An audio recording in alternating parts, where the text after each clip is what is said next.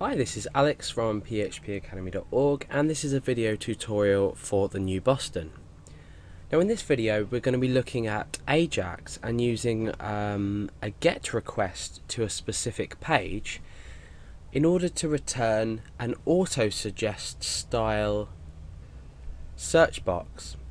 So you may have seen on uh, Google, um, if you use Google as a search engine, you may see that when you type in um, a value or you start to type in a value you will actually receive a list of um, recommended results based on what you've typed so if I was to start typing in ph it may automatically suggest PHP for me because this is a popular result and uh, it is displayed underneath the text box. Now there's a couple of things we won't be doing in this tutorial because this is just demonstrating how we can use Ajax with PHP. We're not going to be using CSS to make everything look pretty because we're going to be focusing on the Ajax relative to the PHP. What we're also not going to be doing is searching it by popularity. What we're going to be doing is we're going to use a um, a uh, an SQL query to match um, or, or, or match every every time we press a key down so if I'm typing PHP here every time we press a key we're going to match what we've already got to the rest of a string inside a database. So let me just make this a bit clearer um, let me just open up my uh, database that I've already created. Okay so if you haven't already created a database go into phpMyAdmin or whatever you use to uh, administer your MySQL database and you want to create a database called Ajax or something of your choice but just remember I'm going to be using uh, the name Ajax. Now we need a table inside of this database called names or obviously whatever you choose to call it but remember to add it in in the tutorial um, in the substitute of what I've named it. And we have two field names. We've got ID and we've got name. Now ID is just something I always tend to put in a database just to keep track of um, how many records there are and also um, also the ordering of which each record was entered. So you can see that I've got a few names uh, that I've already entered in. Let's just take a look at the database structure so you can you can see how I've set this up. We've got ID which is a primary key and it's an auto increment. So every time we in, insert a record it will um, it will uh, increment this value. And name is just a variable character of 40 so that's all you need to do. And then you want to put some dummy data inside your database uh, inside your table sorry.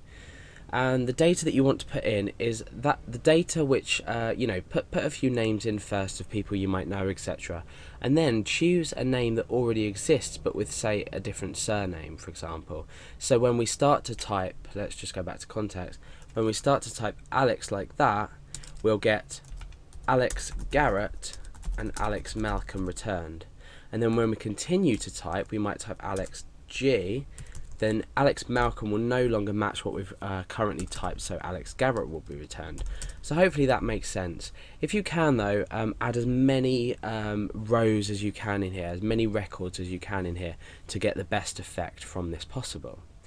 So what we're going to be doing is we're just going to be creating a text area uh, or a text input box first of all.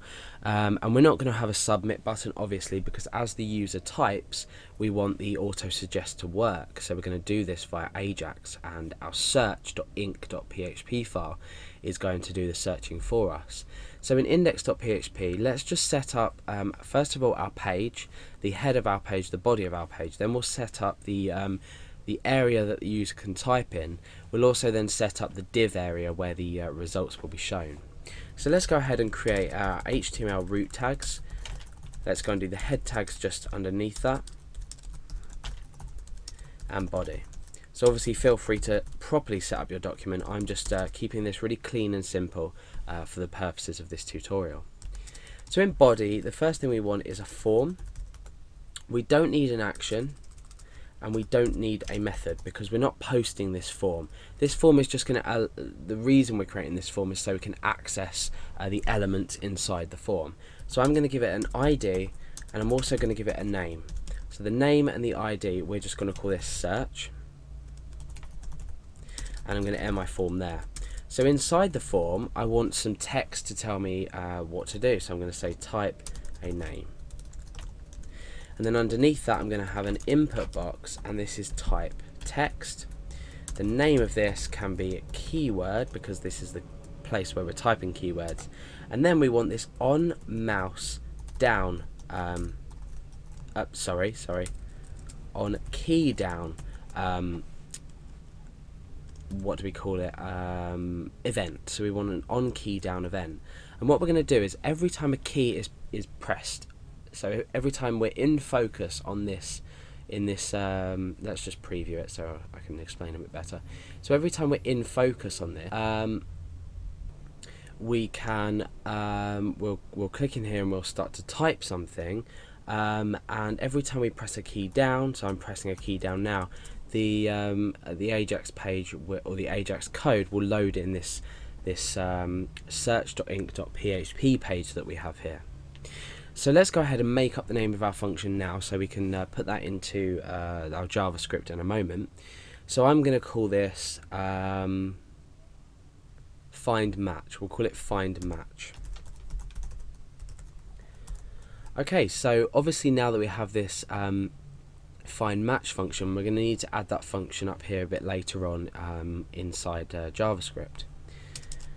So let's go and create our div. We need to create an ID for our div as well because remember within the Ajax we um, get this element by its ID and then we load some HTML into this. And this HTML is going to be the return values that we find from search.inc.php.